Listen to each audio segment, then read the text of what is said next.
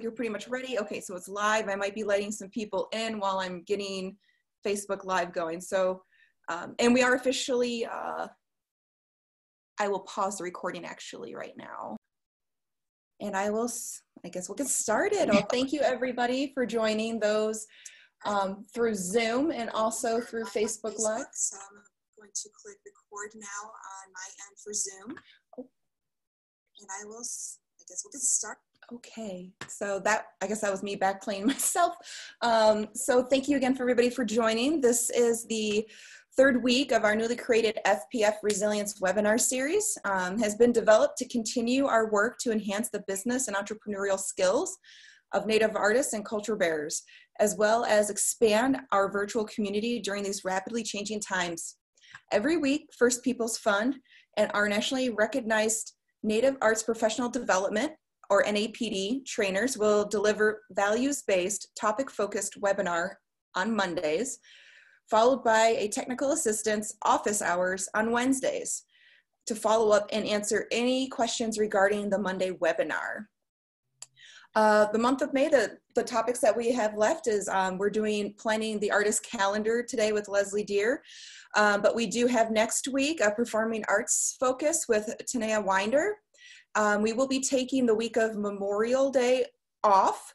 Uh, but in June, we do have some confirmed trainers. We have Ben Sherman on business planning, Koloku Holt on performing arts and negotiation. And we also have Robert Martinez for marketing.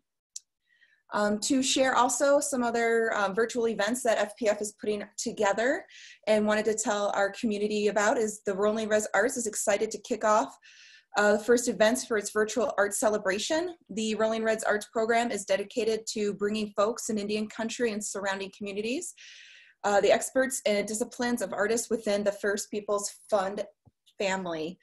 On Saturday, May 12th, Michael Tubles will go live on Facebook with a printmaking demonstration and cyanotype.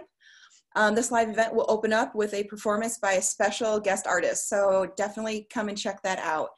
Um, Wednesday, June 3rd at 3 p.m. on Facebook Live, we have Wade Patton to um, demonstrate some matting and framing. And on July 1st at 3 p.m. Facebook Live, Mary Jo LeBeau will demonstrate moccasin making. So that's just a little taste of what Rolling Rez Arts is working hard on. Um, so just before we let Leslie take over and share her awesome knowledge and skills, I just wanted to do a little bit of housekeeping for everybody that is connected on our Zoom call as well as on Facebook Live, that this is a recorded webinar that will be on our Facebook page as well as our resource library on our FPF website and on our YouTube playlist page specifically for this resilience webinar series. So this is our third one, so you can find the other two in YouTube and those two other locations that I just mentioned. Um, if you're on Zoom, please keep yourself on mute because any noise that is made, it will take away from the presentation that Leslie's making and it, your name will be the focal point for the presentation. Um, the presentation will be one hour long with a 30 minute Q&A at the very end. And since FPF myself, Hillary Pressican, hello everybody, um, I will be hosting the webinar today that um, I will be collecting questions from Facebook Lives in our comment section as well as in our Zoom chat box. And I'll collect them all. So at the very end, so at three o'clock mountain time, I will share whatever questions um, were asked to of Leslie and go from there. Um, we will be um, stopping this webinar right at 3.30 because of a prior engagement for our presenters. So um, definitely get those questions in. But if you think of something, again, we have our Wednesday webinar for that virtual office hour. So please don't hesitate to reach out to us and come to that as well with your questions. So without further ado, I have the privilege and honor to introduce Leslie Deer of the Muscogee Nation of Oklahoma, focusing on the planning of the artist calendar. Thank you so much. Here you go, Leslie. All yours. Hi. Thank you so much, Hillary, and hello to everyone out there. Thank you for joining us today for uh, this uh, presentation in the Resilience webinar series. I'm happy to be here and share just the little bit that I know and my experiences about planning an artist calendar. So, you know, during this time of isolation and lockdown, um, sadly, a lot of our uh, opportunities to earn income, our native art markets have been canceled. But uh, in another way, it's also an opportunity to plan, and prepare, and to get ahead, to get a little bit organized so that we can put our focus back onto our artwork and continue to do our best work, take more time to experiment, to collaborate, to do lots of different things with our artwork. So we are going to look at planning an artist calendar, and basically what that is is uh, we're going to look at uh, planning and preparation of um, researching and attending art markets, or if you're a performing artist, we're going to look at uh, planning a tour. So uh, we're going to take those and then we're going to kind of put them onto a timeline, uh, therefore uh, an artist calendar. So um, today we're going to look at major art shows. We're going to look at show prep, art show presentation. Uh, we're going to look at how to set up a booth uh, and what you should do post show. We're going to look at mapping tours and performance submissions. So we're going to take those kind of things and put them into a timeline. Um, and for starters, we're going to start with the art show side. So uh, for artists who um, want to or have already attended art art shows, uh, these are some of the bigger, the major Native American art markets here uh, in, in North America. So you may or may not have heard of some of these, and we'll just go through them a little bit. Um, there is the American Indian Art Marketplace at the Autry, Cherokee Nation Art Market, Eiteljorg, Heard Museum, Longhouse Holiday Native Arts Fair, Native Hawaiian Arts Market, uh, National Museum of the American Indian Native Arts Market, Northern Plains Indian Art Market, uh, Red Earth Native American Festival, and of course Santa Fe Indian Market. So um, just to look at these a little bit closer, uh, the American Indian Arts Marketplace at the Autry takes place out in Los Angeles. It's good to kind of do some research and get an idea of uh, where these art markets take place and also know what time of year they take place so you can kind of start to uh, plan out your timeline. Um, and we'll get into that a little bit further as we get along. Um, so uh, Cherokee Nation Art Market takes place in Tulsa, Oklahoma, and that usually happens every October. So it's good to know when they happen, and also you have to know ahead of time uh, what the deadline to apply is. So you've got to do a little bit of research here, and we'll get to that. Uh, the Eiteljorg Museum is in Indianapolis, Indiana, and that is, I believe, like the last weekend of June. It's usually the end of June. And then there is the Heard Museum uh, Indian Fair. So all of these, I have some links here to uh, the organizations, and some of these link right to the application, and some go to uh, their major market page that is kind of for tourism and for the public. So uh, maybe let's see if we can get this to work, and we will just try to look at look at one of these real quick.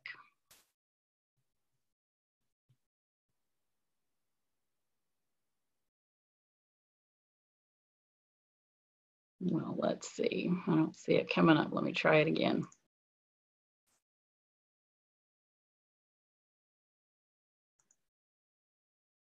Here we go. So this is the um, webpage for the Heard Museum's Indian Fair and Market. And of course, that takes place in uh, March. So that has already passed for 2020. But you can find here the dates for next year. You know, as I mentioned, we're making a calendar, we're planning for the future um, and getting organized. So you can already even pencil those dates down if you're interested in the Heard Indian Market. It is going to be the first weekend in March of 2021. So um, it's got a lot of information here. And then there's even a section that just says click here for artists. So um, that's one art market. Um, and I think that Hillary also is going to post these on Facebook so that you can you can uh, check out those links there as well.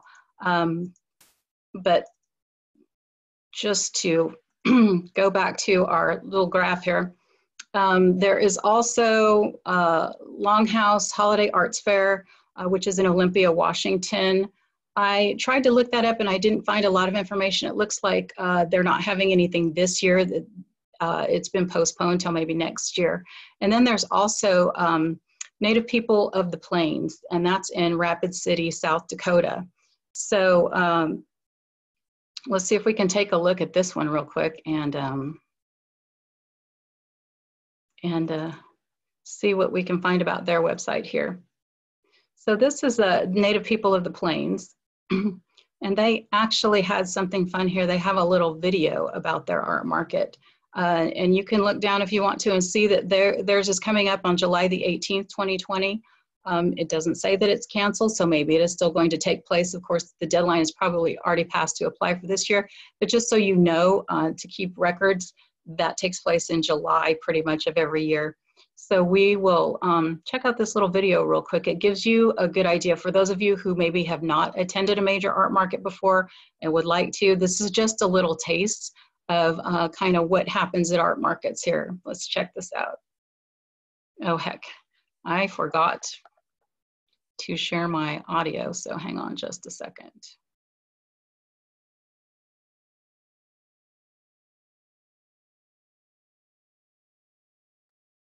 All right, let's try it.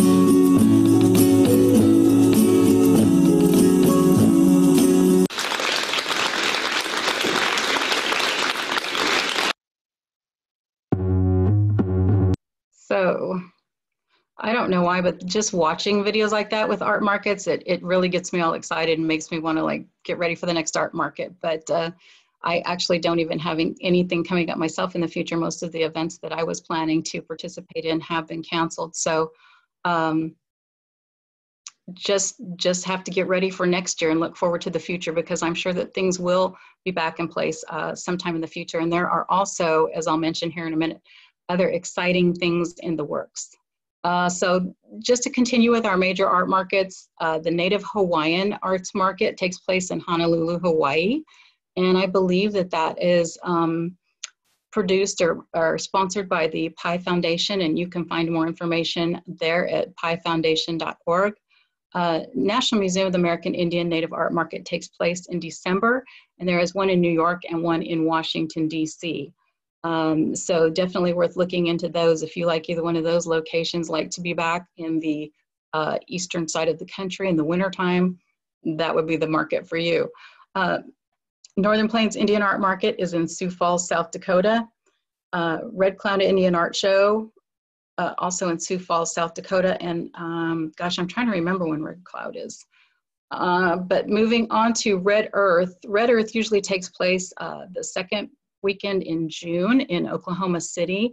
However, uh, that has been postponed this year. I have heard maybe that they might try to hold it in October, but I haven't seen anything finalized on that yet. So this is all just to kind of show you and get an idea of when and where these events take place so that you can start to try and keep in the back of your mind which ones might be doable for you as far as travel and which ones might not. Um, and then, of course, Santa Fe Indian Market um, in Santa Fe, New Mexico um, in August. Santa Fe, of course, is probably the largest Native American art market in the world. And um, we'll see if we can look at their website and, and um, they've done something really exciting that's coming up here. They have already canceled they have already canceled uh, Indian Market for this August. Um, but they have uh, they have uh, decided to go virtual. They're going to have a virtual online Indian market. So that's really exciting. And this should go live, I believe they're aiming for August. Uh, so it's for, for uh, juried artists who have already been juried in for the 2020 show. Um, you have the opportunity to uh, participate in the virtual market. Indian Market does something really nice for their juried artists, and they have a um, kind of a little page for each one of their artists. And just to give you an example here, uh, you can see that alphabetically every artist is listed here.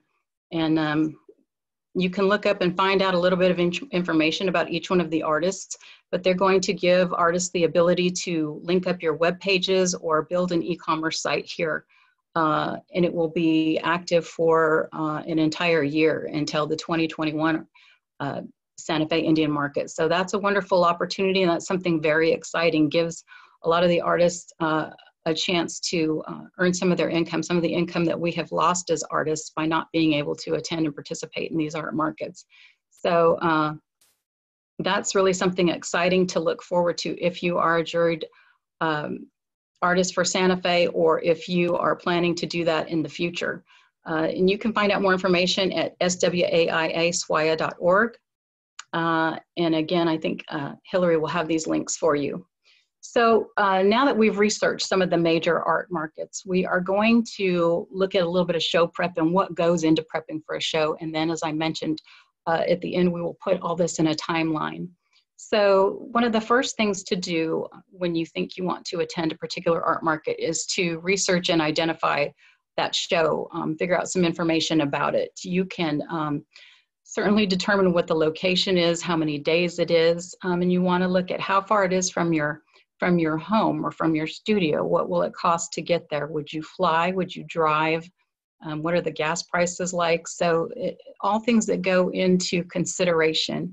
Um, and definitely you want to find out ahead of time what is provided for your booth as far as setup. Some art markets only give you a roof over your head. Some provide tables and chairs and electricity and pipe and drape. It, it really varies from one market to the next. So it's, it's good to do some homework and look into these things. You also sometimes need to research um, how to file for uh, a sales tax ID number because a lot of these major art markets do require you to have a sales tax ID number for their state to make sure that you're reporting the proper taxes. Um, and also, this is something that I learned over time.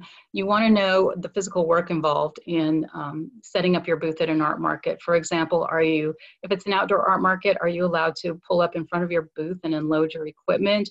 Or do you have to park several blocks away and then carry things in one at a time? So, for example, since I'm an apparel designer, my equipment consists of things like a grid wall, dress forms, clothes racks, bag after bag of uh, garments, uh, mirrors, carpet, things like that. And so if I'm not able to pull up in front of my booth and unload those things, I can fit them all in my car.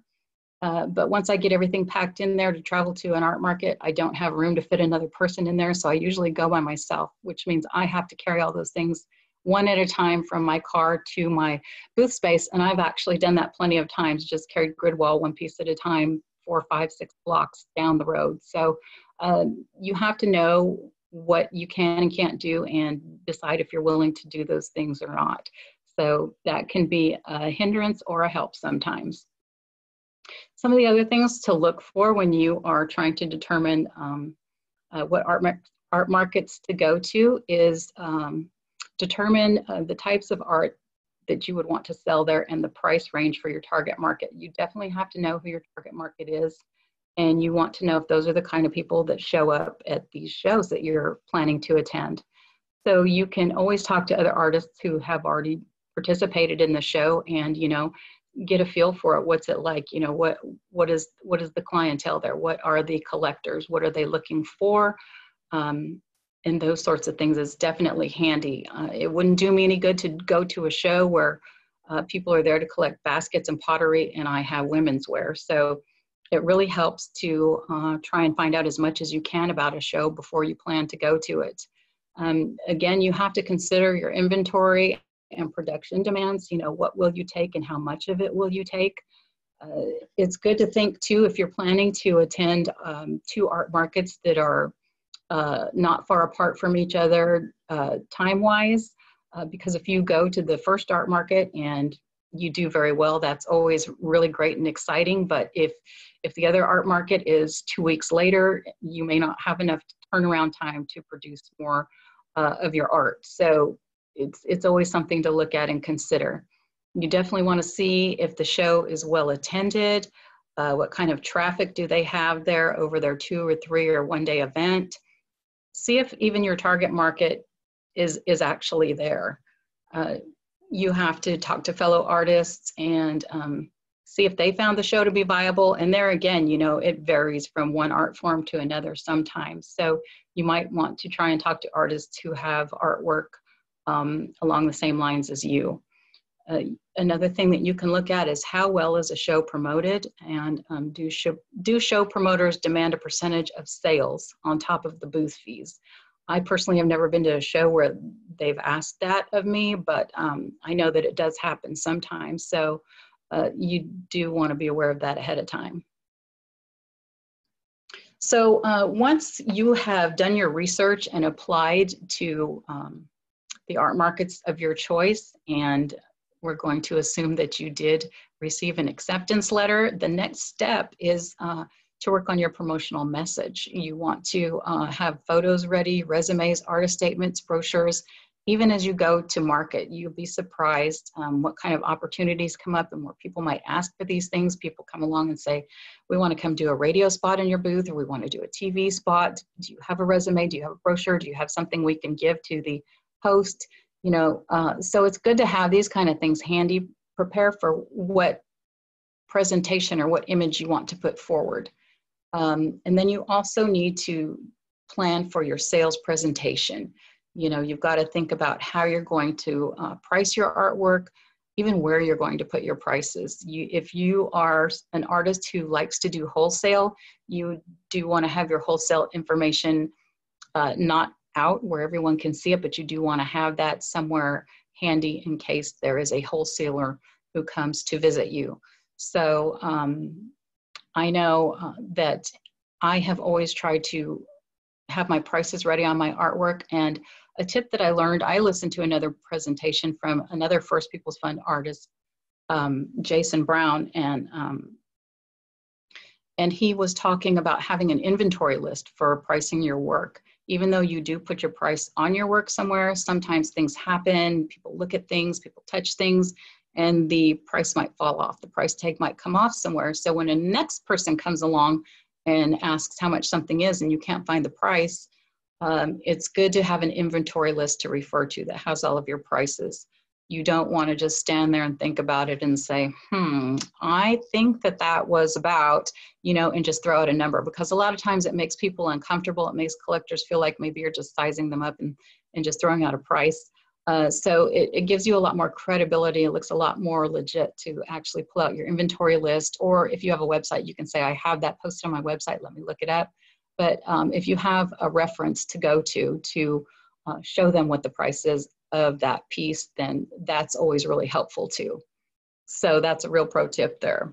Uh, you definitely want to know your art and be able to communicate your story. Uh, I think that that is really what uh, attaches a collector to a piece is understanding the story, understanding the background, knowing why it was made this way, what it represents, what it means, what inspired you. So you definitely want to be able to communicate that information as well. So if you're not real practiced at doing that, it's now's a good time to practice, you know, talking about your artwork.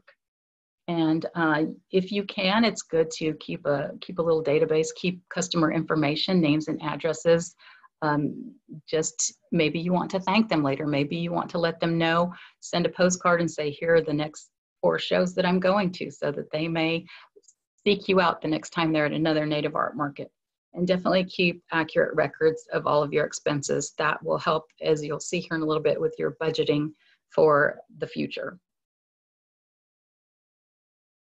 So um, again, we want to look at um, the more about determining types of art to sell and price ranges for your target market.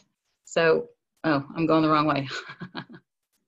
So once you have done your show, the next step, of course, is follow up. Once you're done and you pack up everything, there is still work to be done.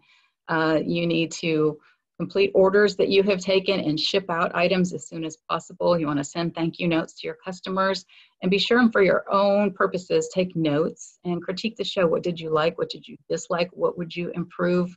I always make notes on how I could improve my own booth. What would make it easier for me? What would make it more appealing? Those kind of things. So it's just stuff that's good to, to make a list of and keep track of.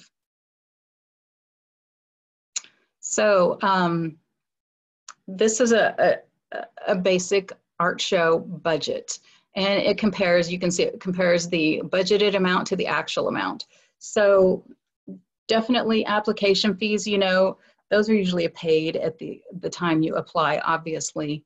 And um, you can look that up a lot of times ahead of time. So you can budget that and the actual probably will still be the same amount. Uh, booth fees, the same thing. You can look that up and see online um, how much the size of the booths are and how much the cost is to budget that in. Um, hotel and travel, whether it's airfare or vehicle, hotels, sometimes you can consider uh, sharing a hotel room with another artist um, to defray some of your expenses. Um, you could also travel with another artist, or you could consider whether it is more economical to to drive to the art market or or to fly. I'm always envious of artists that have small pieces of work, say jewelry or something, and they can pack it all in a briefcase and get on an airplane and uh, and uh, show up at their booth, lay out uh, a, a, blanket or a textile, and and put their jewelry out, and and they're set up. I, I'm envious of those people sometimes when I'm lugging all those dress forms and and clothes racks, but uh, definitely um, so for some art forms, it is easier to travel um, by air. Certainly, food is another expense that you're going to need, and you just have to think about if you want to eat in a restaurant or if you want to pack an ice chest with fresh, healthy food. That's really your choice. Um, definitely supplies, uh, just things that uh, you need to get your booth ready, whether it is duct tape or cording or new banners, those kind of things, you need to budget that into your uh, expenses as well. And certainly equipment, if, you, if you're using something for the first time or if something needs to be replaced, uh, for example, in my case, that could be a dress form or a clothes rack, or if I damaged a mirror or something, uh, transporting it, then those are definitely things I would need to budget in. You also, uh, if you are going to be traveling by air or if you are going to ship your artwork to to collectors, then you need to account for shipping materials and shipping costs. And then of course there are those just those miscellaneous things that come up. So this is a basic uh, art budget, but it's good to budget, fill in the budget side of this, and then after an event, fill in the actuals to help you plan for next year so that you can look at it later and decide if it was a viable show for you or not. So now we're going to talk about uh, tour mapping here for a moment. And um, I want to point out that um, Next week, there is going to be a presentation for performing artists that will probably go a lot deeper into some of this information. Tanaya Winder is going to do a presentation for you performing artists. So um, this is just kind of going to touch on uh, performing arts and tour mapping.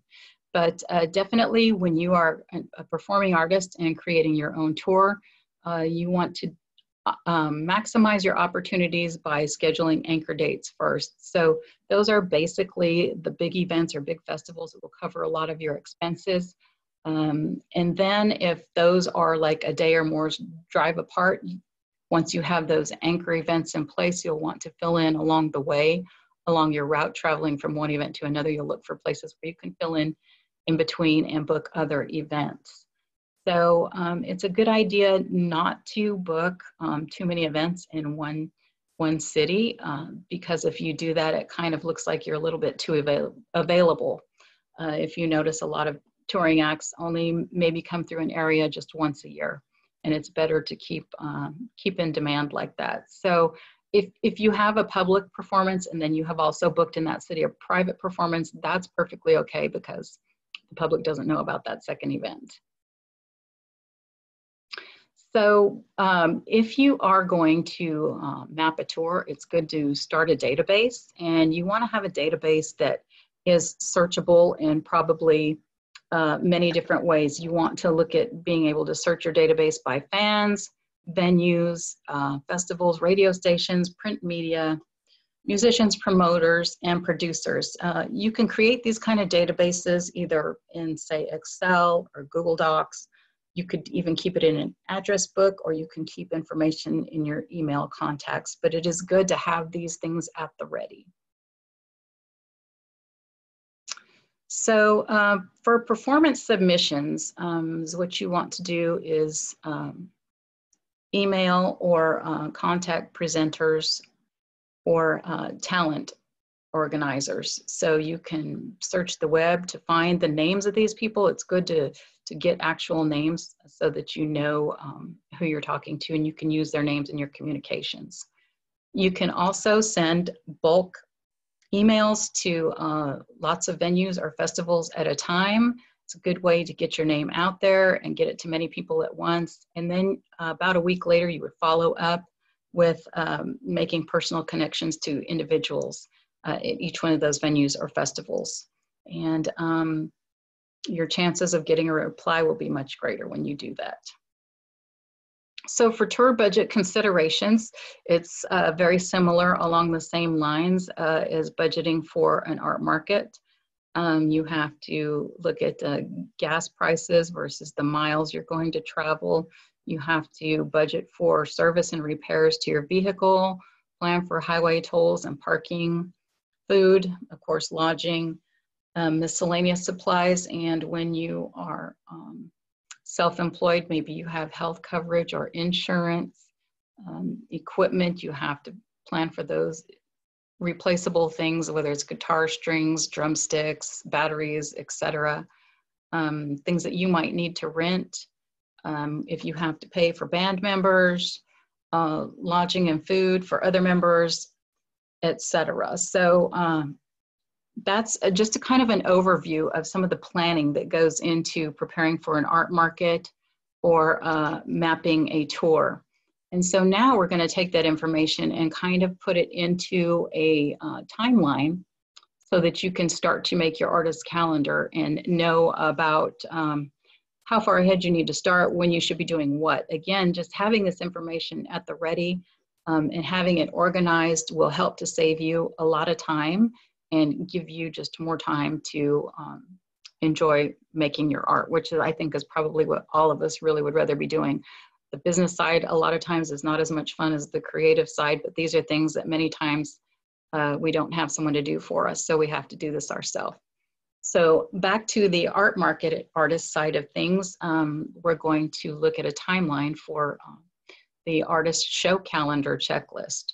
So here we go. 12 months before the show, um, you should visit a show if possible that you would like to enter. I know that sometimes that's not always feasible. I would like to go visit the Autry um, because I've never been there out in Los Angeles, but I know that it's a two day drive for me and I'm not willing to drive two days by myself. So, um, and I don't really want to spend the money to fly yet either. So I think that that's uh, a venue that I am not able to visit yet, but there are some closer to home. There are some here in Oklahoma that I have actually gone to go visit. Um, for example, the first time uh, I was interested in attending Cherokee Art Market, which is right here in um, Oklahoma over in Tulsa, I decided to go and uh, just be a spectator one year to look at it.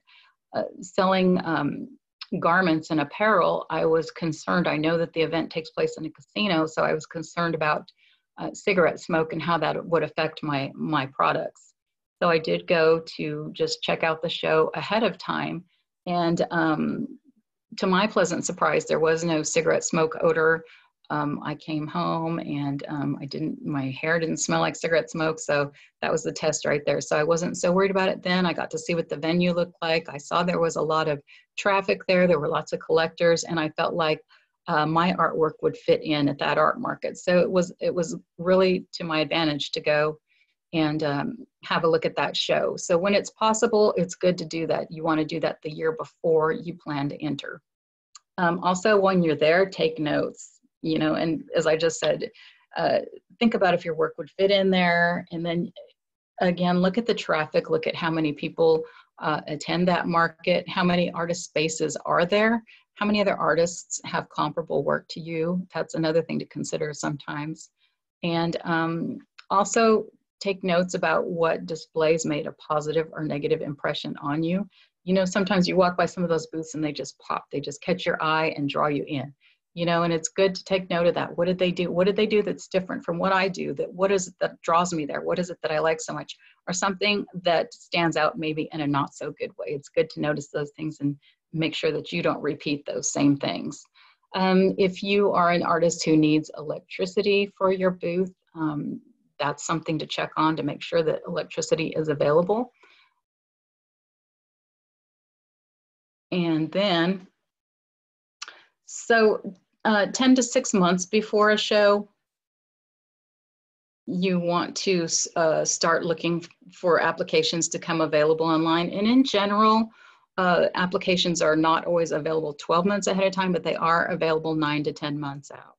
So um, you definitely want to start looking for those applications online and uh, you want to start planning to uh, get your materials together to to apply for those. A lot of the art markets um, have online applications where you can upload your images and your uh, descriptions right there on their website. So it's good to um, put all those materials together. I put everything in a folder for each separate art market and have it ready to upload when I go to apply. Um, and then organize your publicity package, you know, get things get things organized as far as are you going to have business cards? Are you going to have postcards? Are you going to have brochures? Do you want to make stickers? You know whatever it is that you need to promote your brand and your art. Um, and then also you want to start planning your inventory. You know what price ranges how many pieces in each price range do you want to take to this market? Um, and then also six to three months before the show um, you should have received notification of acceptance.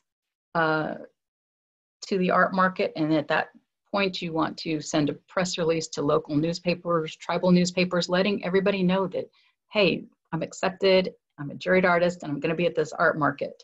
Uh, so then, then you know, just think about your display needs. Um, how are you going to show everything? Start budgeting your expenses this is also the time to start looking at making your hotel reservations and travel reservations.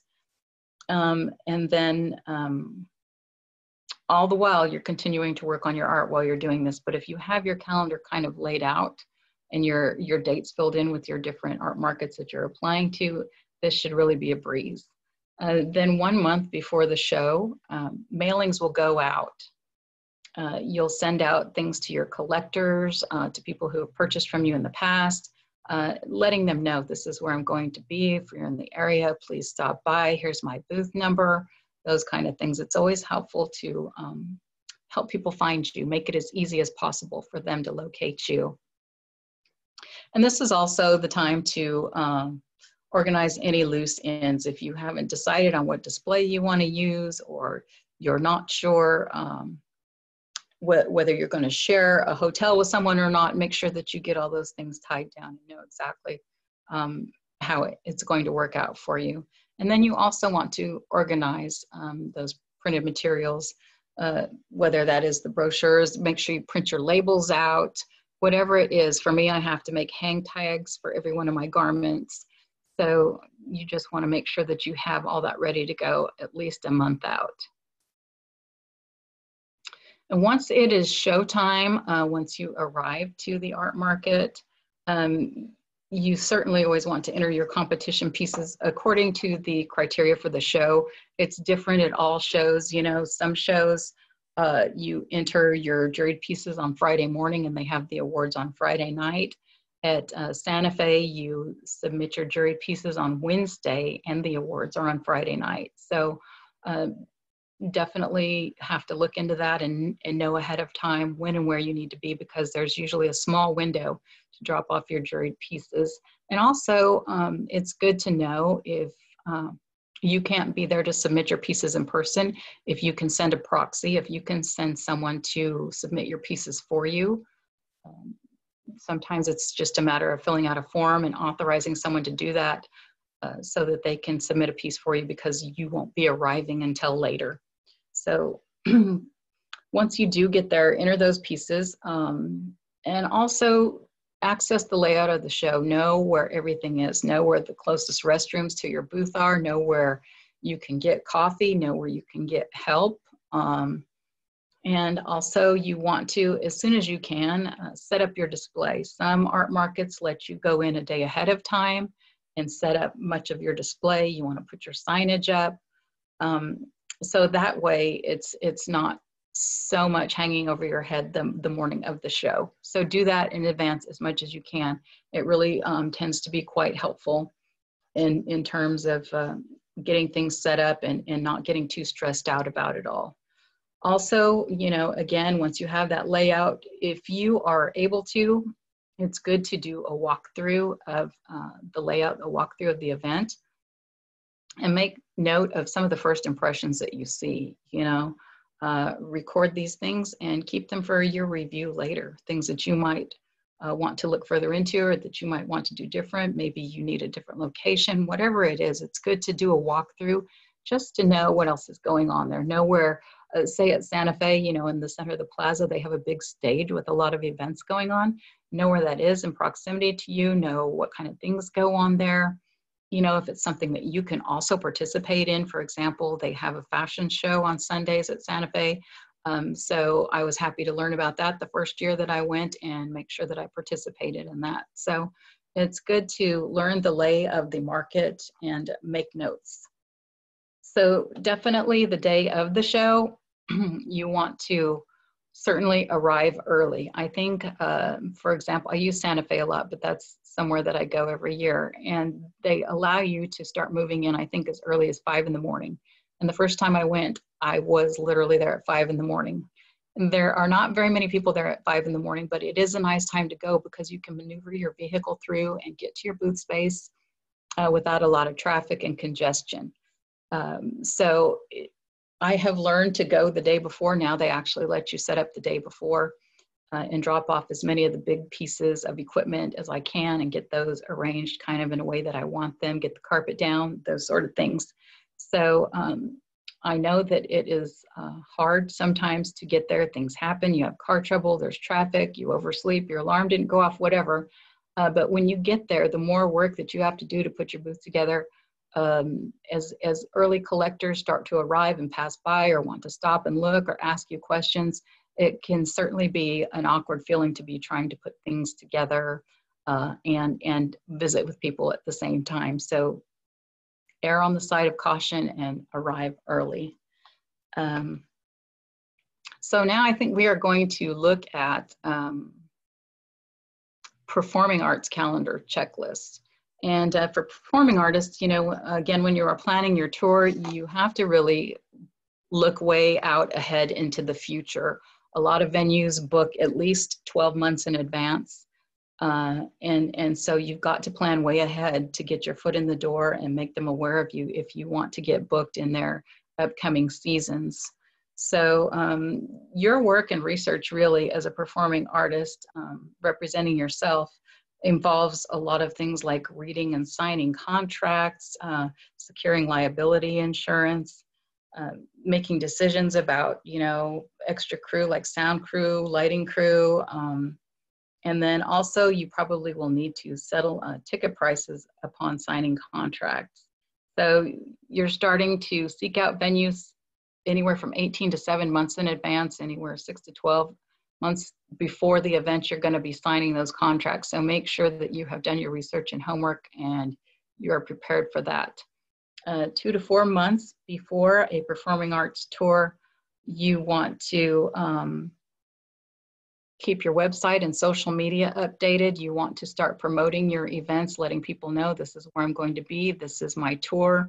If you're anywhere near here, please come check it out. You want to write a media or press release, contact the media, again, going back to your database of uh, whether it is radio stations, uh, TV stations, whoever it is that you might know or have contacts within those areas. Uh, let them know that you're coming and send your press releases.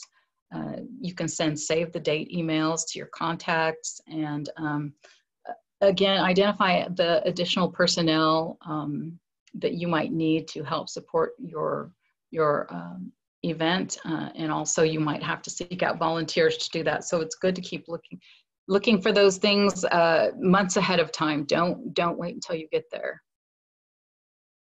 The month before your performing arts event, um, you want to start designing your print program, distribute media releases, recontact, um, you know, bloggers and media, people that can help you promote your event and remind them, you know, this is where I'm going to be, this is where I am, I'm doing a meet and greet, whatever it is, you know, to help uh, boost uh, visual, um, the visual representation of your event. and then the week before the event, uh, continue to update your social media and let everybody know, keep it on their mind. The, the more repetition, the more they see it, the more they're going to remember it. So um, again, reconnect with the, the media, people that might review your event, bloggers, and um, send reminder emails to your contact list. Um, also, at this time, you can carry out your community engagement events. Uh, I um, used to be a performing artist. Uh, however, I, I did not have to handle the management side of it. I was a cast member of a dance company, so fortunately, I, I did not have to uh, go through any of the the uh, contract signing or seeking out venues or anything like that. We had booking agents and managers and all of that, but we did have to do lots of community engagement. We used to go to um, colleges and schools and do uh, uh, exchanges with uh, dance sharing, cultural sharing. We did um, uh, press conferences, those kinds of things. So certainly look for those kind of events as well to uh, promote promote your tour. On the opening day of your event, if not sooner, you should have your programs ready to go. Uh, prepare for the ticket taking at the door. Um, post your day of notices on your social media. Post your, um, uh, you know, just updates to everyone. Hey, here's a sneak peek of backstage or getting ready for the event or whatever it is. And, you know, hope to see you here just make sure that you've done everything that you possibly can to get the word out there about your event. And um, then have a great show. After your event, uh, post event, again, there is still more work to do. You want to post your thank yous. Um, and then definitely thank the, the media, the, the bloggers, the people who have reviewed you, um, who have helped to promote you. Definitely thank your volunteers and donors and then of course you have to settle your box office and your rentals and pay your crew. So uh, that's kind of, uh, I know a little bit of a quick run through on uh, timelines, but that's, that's what it looks like to plan your event ahead of time and then start to pencil them into your calendar. Uh, again, the first step is to find the spots that you want to go to and then start doing your research there. Uh, so one last little thing we're gonna do here for the art market side is uh, look at a little bit of booth preparation. And um, this is uh, just a basic backdrop for a booth. Uh, depending on what your uh, art art pieces are, what your um, art products are, maybe they are something that hangs, maybe they sit on displays or tables, mine go on clothes racks, but it's always good to consider your backdrop or your background uh, no matter what your product is, because all art markets are different and um, there may be all kinds of distracting things either to the sides of you or behind you. So sometimes it is good to kind of um, block in your space, you know, create your own background. I know at one art market that I go to, uh, the booths are set up uh, in the street from the center of the street towards the curb or the sidewalk is where your booth spaces are. And uh, so usually in the back of my booth, there is a sidewalk and there are storefronts there with that sidewalk. And there's a lot of traffic pack, passing back and forth uh, behind my booth. And, and to kind of uh, block some of that out and make my booth look a little more appealing, I have been planning to um, create backdrops or kind of to block off the space so that you really don't see that traffic and all that busyness going on behind my booth because it can be distracting. So uh, this slide is just to show, you know, think about you can use paneling, you can use um, tripods and put a bar across them and drape fabric over it to create a background. You can uh, put grid wall and hang, hang textiles on it to create a background. I have done that before. So there are many creative ways to create a background to block out all the other busyness around you. In, in this particular example, uh, we have paintings here, and uh, I think this is just to say to center your paintings and make them as appealing as possible and keep them at eye level. It's a lot more inviting and eye-catching to have things at people's eye level when they are standing. So um, these are all hung and centered uh, and they are at eye level. And you might notice there that little tiny table in the center of it all a lot of times we do need a table in our booth, at least to conduct transactions, if not to display our work. So um, you can have a little table, you can have a big table, but try and make your table as appealing as possible too. You don't want to just set out a, a basic multi-purpose table like that and leave it. So um, a good idea is to cover it with a, uh, a textile, a fabric, a tablecloth, something you have made even to cover your table. You can even elevate it, put something under it to raise it up if it's not high enough, or put something on it to bring it up to the next level. Uh, in this case, here's the table all decorated and it doesn't look anything like that simple little, little tiny table that we had earlier.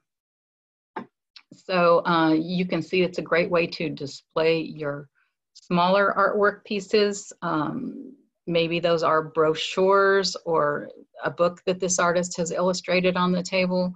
He's got his business cards there on the table.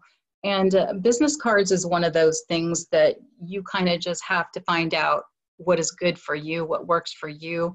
I have heard pros and cons both way um, about putting your business cards out and um, about not putting your business cards out. And uh, the pros for putting your business cards out are that if if you happen to be busy with another client or, or collector, um, and you're not able to talk to everyone who steps into your booth, they can pick up a card and have some information about you to take with them, and they can be on their way. And the cons of putting your business cards out are that uh, people can pick up your card without talking to you and they can leave. They don't have the opportunity to engage with you or even to um, to remember you later. And I know that I have personally been guilty of that myself, where I've been to uh, conferences or events and picked up business cards. I'm really excited about it. I'm going to save this. I'm going to keep it for later. And uh, uh, getting home and then going through those cards a couple weeks later and going, what? I don't remember what this is for. I don't know why I have this card. I don't know anything about this. And I'm just going to toss it. So that can happen too. So they say that if you uh, don't display your business cards, people have to ask you for one. And then you have just that moment to uh, make an impression on them, to have just a small exchange with them, to say something, to interact with them, and therefore become um, just a, a, little bit more uh, memorable to them so that uh, when they do get home with your business card, they can say, uh, yes, I remember this person, I remember this event. I've also heard, and uh, I have not tried this yet myself, but I've heard that it's good to put a uh, small photo of yourself somewhere on your business card because that does jog people's memories as well. So whether you display your business cards or don't display your business cards uh, is entirely up to you. Sometimes it's just trial and error. I've heard people too say that I put my business cards out and lots of kids just ran through and picked them up to play with and then I saw them laying all the way down the street and around the corner. So it, it just, it's up to you really. You just have to kind of do trial and error and see what works for you. Another good thing to point out about this booth display here, I want to point out is these uh, these credit card um, signs that are hanging here in this booth. Uh, this artist has chosen to let people know that he accepts Discover, MasterCard, Visa, American Express, and what looks like, I don't know, Diners Club or something. Uh, but um, again, that's something that, that each artist has to work out for themselves. Uh, sometimes it, you want to uh, make that sale a little bit easier for, for a collector and you want to let them know up front, hey, I can process credit cards, no problem at all, so that they don't have to go through the awkward, you know, question and can you take a credit card? Do I have to have cash? You know, a lot of people sometimes, you know, don't want to run down to the nearest ATM if they don't have enough cash on them. So it's helpful to let them know that you, you do take credit cards. Um, but just be beware that if you if you don't have a credit card processing machine now just know that all of the credit card processing companies uh, square paypal etc they all take a uh, percentage of your sale as a fee. It's a small percentage. It might be 2% or 3% but um, it adds up if you do a lot of sales. You know they take a cut of your sale. So um, if if you would prefer to encourage people to take cash maybe you want to uh, not display this kind of signage in your booth space you know and that that way people might assume that you don't take cards and then know that they need to pay cash it, it's entirely up to you again, you know, whatever, uh, if you're willing to, to take the credit cards and, and it's not a problem for you to, to give up that little percentage for the transaction processing, then, then um, it, it's certainly a good idea. It definitely, I think, makes it easier on the collectors. I know that sometimes I have gone shopping at, at art markets and festivals and different things and see something I like but didn't have cash. And I was like, oh gosh, I don't know if they take credit cards and I can't get the girl's attention. So I'm just going to forget it. But, you know, if this information was displayed, I might hang around and, and wait my turn to uh, hand over my credit card and, and make a purchase. So um, just some different things to consider about having your booth space and um, just to um, have a look at what it looks like to have a booth at a Native American art market. So um, it, it feels like this, maybe it didn't feel like it to you, but it feels like this went by really fast and I just touched on things, but it's just a kind of a brief uh, little overview of what it takes to prepare uh, uh, to attend an art market, how to plan ahead, how to book the event, how to plan your tour, um, and how to put it in a timeline, what you should be doing 18 months in advance or 12 months in advance, where you should be at six months in advance, uh, just to help keep yourself uh, on a schedule and keep yourself organized so that uh, you don't get too stressed out and overwhelmed six weeks before the show trying to do everything, trying to make travel arrangements, trying to uh, get brochures printed, trying to locate photographs for promotions, trying to get a banner ordered, all those kind of things. So um, it, it is going to be something that's customized and unique and different for each one of you, whether you you know, uh, do an online calendar, whether you keep a weekend or book with you that plans things by the month, uh, but it's definitely a doable practice and something that can work for you to your advantage to, again, help you stay focused on your artwork. So uh, I hope that you have enjoyed this presentation. Uh, there's one more slide here too that I forgot. This uh, is a, a, view of uh, the booth a little bit further back. You can see there's that table again with the business cards, the uh, credit card signs. And the last thing I wanted to point out here was uh, sometimes we need to sit down. You know, obviously a, a person standing at the ready in a booth is a lot more approachable than someone sitting in the chair just kind of relaxing and kicking back. You want to look approachable. You want to engage with with people that pass by. You want to talk to those collectors, those people that take an interest in your art. Um, so uh, it's good to be standing and be at the ready to interact with people, but some of us can't always do that. You know, some of us have limitations, some of us have disabilities, and we're not able to stand for an entire day. I know that um, in my booth, I actually put uh, something called fatigue mats under my carpet. And those are just big, thick, rubbery mats that are a lot more comfortable stand on all day than standing on asphalt or concrete. So uh, those, those can make a big difference. They don't cover the entire space in my booth, but they might cover, uh, you know, they might be two feet by three feet. And I might put two or three of them out towards the corners of my booth, somewhere that I can stand um, when my booth is starting to get crowded, where I can talk with someone, but not be blocking people from getting to the dressing room or looking in the mirror and those kind of things. So those are helpful, but also it is good to have a chair. Um, and if you do have a chair, I recommend having a chair that is elevated. This particular chair is what's called a director's chair. And if you notice, it's not the normal chair height, that sits up a lot higher. Um, and the reason that you want to have a chair like that, it's good to be able to maintain uh, eye contact with the people that you're talking with.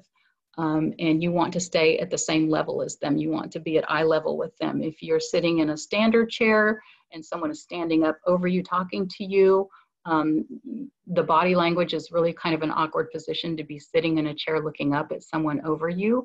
It feels a little bit awkward and uncomfortable for uh, the person you're talking to as well as yourself. So think about sitting in a, uh, a an elevated chair like a director's chair.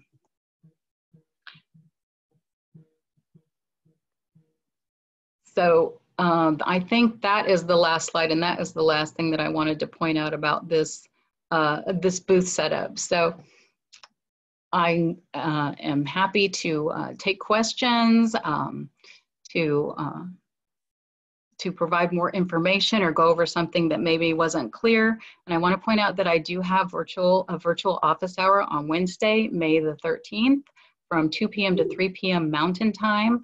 Uh, this is the registration link for, for the virtual office hour.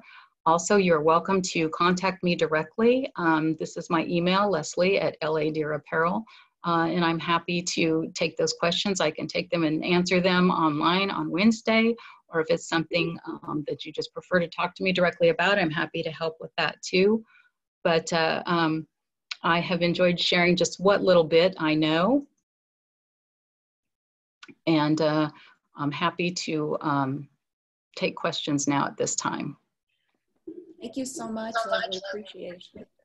Um, first question that I have is from Stan through our Zoom call. He is asking, um, he would like to know um, more about like handicap services for these art markets, for those with um, those with disabilities. As far as being a, a, a presenter there, as being an artist, I think that it varies a lot from one market to a next what they're capable of. Um, so you might want to contact the organization directly through some of those links to the art markets and, and see what kind of surfaces they have available. Um, I know that at a lot of the art markets that I have gone to, especially the indoor markets, um, they have a lot of volunteers. They're available to help with uh, loading and unloading and transporting things for you.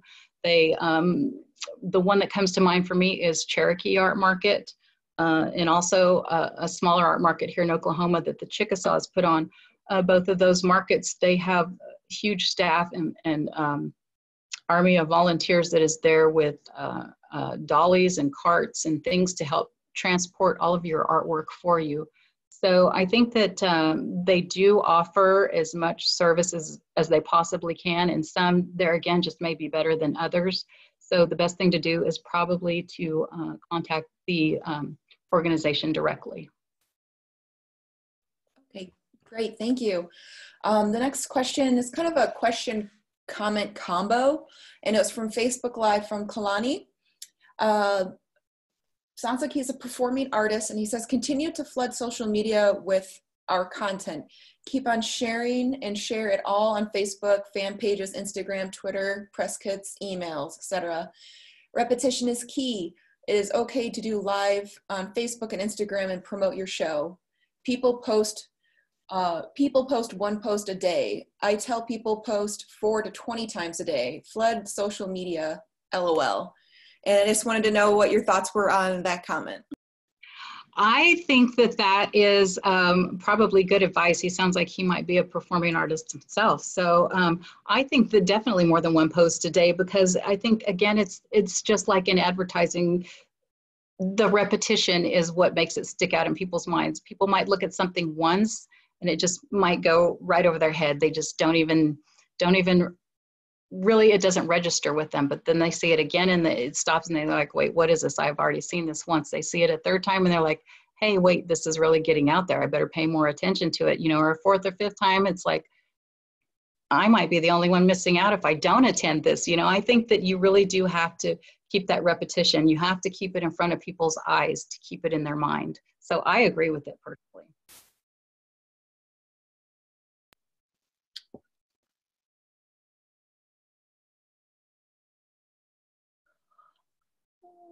I'm just checking uh, Facebook Live as you were chit chatting. I don't have anything new questions wise, and it looks like on the Zoom call um, there are no new Q and A's.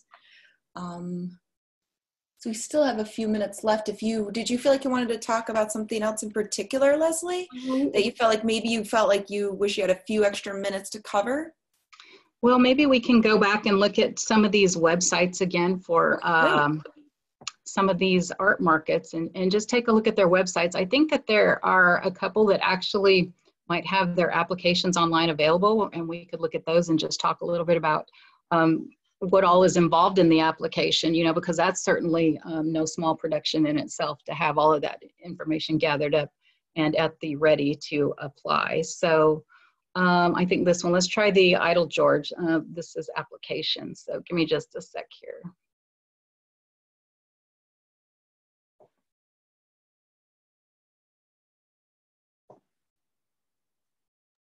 Okay, so this is the Eiteljorg, and um, again, they their event usually takes place at the end of June, but um, let's see if here if I can go a little slower. Well, and it, and as far as applications go, they were accepting applications uh, through almost the end of January, so six months out. That's good to know. Um, but let's just kind of look at an application and see what all is involved in an application here. So it, it does start out with some of the basics. Uh, you know, your name and tribal affiliation, which is something that's also really important to, to point out is that all of these art markets do require you provide uh, documentation for affiliation with a federally recognized tribe.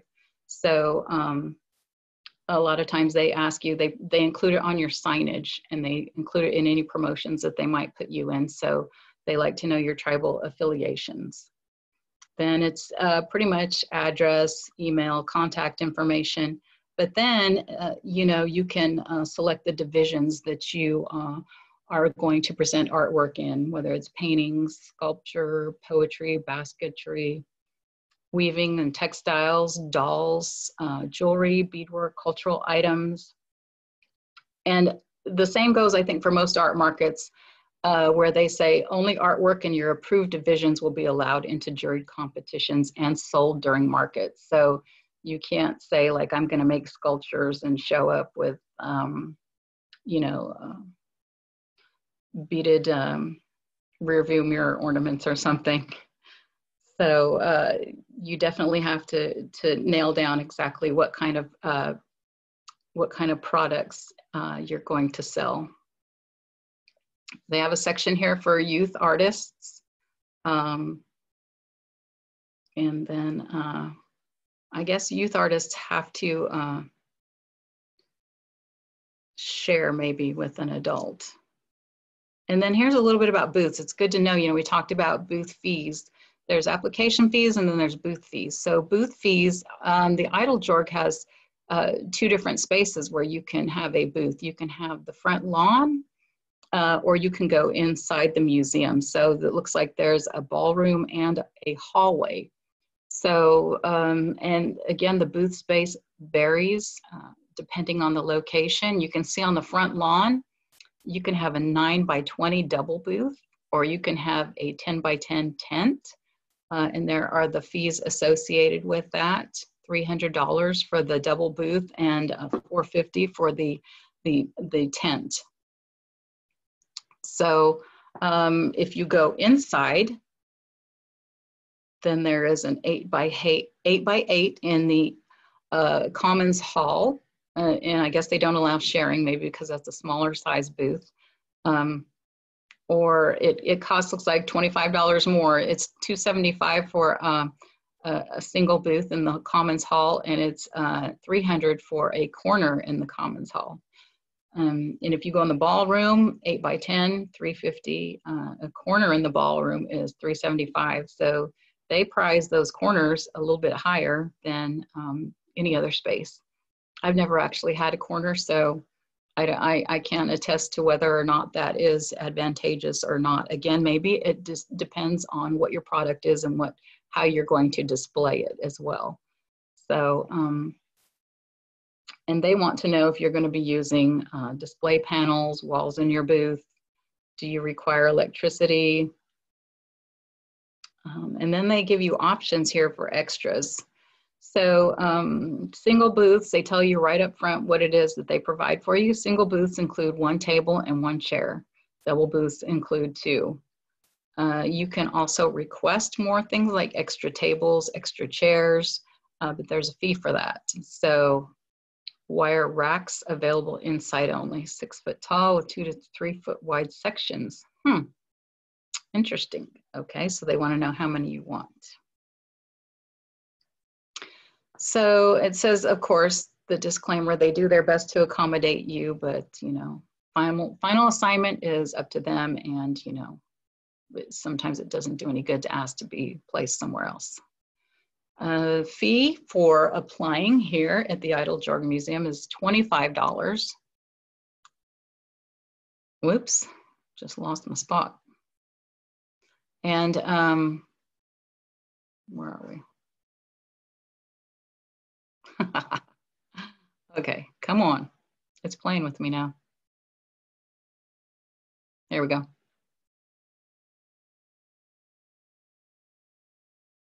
So the fee is $25 and um, you can apparently um, print out the application maybe mail it in with your money order, uh, but uh, you can also do it and pay online, I think. some, some, all art markets are different as far as refunds and cancellations. Uh, some will give you a full refund by a certain date, and then sometimes there is no refund after a certain date. So, um, and here, oh, here's information about the tribal affiliation please submit one of the following. They tell you what, what's acceptable and what's not acceptable as far as um, providing your documentation. And then uh, most all art markets have guidelines for their images. Sometimes they don't want your images to be over a certain file size or, you know, they want it to be um, a certain uh, DPI dots per inch. So uh, it's very important to look at their, their specific uh, requirements and make sure that you upload them according to that because sometimes you will uh, be disqualified or, or your application will be tossed out because you didn't follow the guidelines. So it's important to, to make sure that you know uh, what size files that you can upload. Um, and if some, some people aren't really good at, at resizing photos and knowing, you know, how to figure out what size your file is or what the DPI is. So find find someone to help you. I tend to see that lots of younger people know how to do that really easily. So uh, look for some help if you need help, but make sure you get your files in the right size and right format. They also a lot of times want um, you to put uh, some documentation with the images, an image description, so they know what they're looking at. A lot of times they want the the uh, name of the piece of artwork, they want the dimensions, they want the um, materials that it's made of, they want to know the techniques that were used. Um, and sometimes they allow you to give even more information about it than that, like what your inspiration was or what it represents. So um, definitely provide everything that you can for those. Um, and then it tells you how to submit them. So um, selection for the signature image does not guarantee any award in the juried competition. I'm not even sure what the signature image is there. I have not been there in several years, so I'm sorry I can't help with that, but I could maybe find out. Um, and here is where you um, submit your descriptions for your images. Again, see the title of the art piece, what division it is, what medium it is, what year it was created, and the size. So here are some of the uh, rules and guidelines um, that are enforced throughout the event. It's got to be your original artwork. Um, be respectful of other people's booth spaces. You know, stay within your booth space. They don't like it if you come too far out forward into the walking space. Uh, in an art market, you, they want you to not put stuff behind your booth or beside your booth. Um, and that's something that you really have to think about too is storage space. Some of us display things on tables and we can put a tablecloth over a table and cover it. So there's your storage space right underneath that table. You can put all of your Rubbermaid totes or whatever it is that you have. Um, but definitely think about where you are going to hide your packing materials and your shopping bags and all of those kinds of things um, because you don't really want to clutter, clutter up your booth and you don't want to infringe on another artist and have things spilling over into their space. I personally don't have any tables in my um, my booth space. Uh, I have garment racks, I have mirrors, I actually have a portable dressing room, uh, I have uh, displays, dress forms, things like that. So uh, what I have figured out over time to hide my storage, a lot of things that I have to hide during the day are lots and lots of garment bags, uh, shopping bags, tissue paper, um, and I actually take one garment bag on a hanger that's empty because the clothes are on the rack. And I will stuff all of the other garment bags. Well, actually, they're folded up nice and neat, but I will put them all in the one garment bag that's hanging and it'll go to the very back of my rack. So when I zip it up, everything is in that one garment bag and, and it's just about as neat as I can make it, really, since I can't hide it under a table or chair or anything. So you've got to kind of get creative with storage space in your booth sometimes. Back to the rules and regulations though. Um, you have to be present and remain on site throughout the entire event um, to, to work with the public. So, um, and you get in trouble if your booth space is not set up on time. They don't like that either. So there are lots of rules to abide by. And when it's your first time going to an art market, it can seem like an awful lot. But again, if you do your research and you plan ahead and you know what you're walking into, you can be just um, relaxed and, and not really have to sweat 90% of this stuff. Um, let's see. Well, they talk about taking special orders and um, uh, how to deal with your your collectors handling special orders um, because if you don't fulfill your order or deliver the artwork in a timely manner, um, it reflects badly on the art market and the organizers of the art market don't like that. So you want to make sure that you, you handle your orders and take care of business in a timely manner. And you have to agree to all of that and sign. Uh, and then you can upload your files right here. And then it says um, they won't accept your application until you pay your fee. Um, after submitting this form, you will be redirected to a purchase page to pay your fee online. And then you just upload everything and hit apply. It's as easy as that. So um, that's kind of uh, what it's like to apply to a major art market. There, there are little things that are different here and there, but in general, they require the same types of information and have the same types of rules and regulations. So um, that is a good um, kind of an idea for uh, for what's required to apply to an art market. I'll see if I can find another one here to um, apply to or look at an application for? Uh, while you're looking, Leslie, I do mm-hmm. have, um, well, a comment question and then another question is that Matthew oh, on Facebook Live shared that the Cherokee Art Market is still on for October. Is that correct? Have you heard anything? Um, let's look at their website. You know, I was looking at it the other day and I can't even uh, remember. Let's check out their, their webpage really quick and see what we got here. And then um, I guess another question while you're looking at that is uh, something that I was thinking about is that um, are there any sort of um, because because you were saying the cost which is pretty normal 300 bucks for a booth etc the application fees that much you know but are there any art markets that have some sort of payment assistant or applications for booth fees to be covered things like that um, that people may have may might be able to look into I think that some of them do, and that's not an area that I am really well versed okay. in. Um, but I have seen that on some of my art market applications before. If you need assistance, you know, um, click here. And I honestly have not ever really looked into it.